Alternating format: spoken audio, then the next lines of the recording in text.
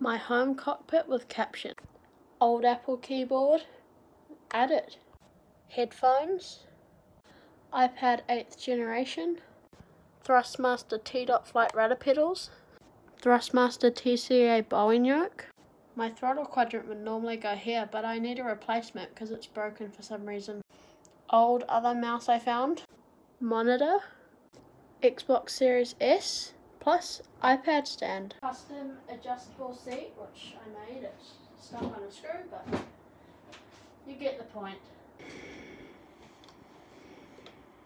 Flying is an absolute dream.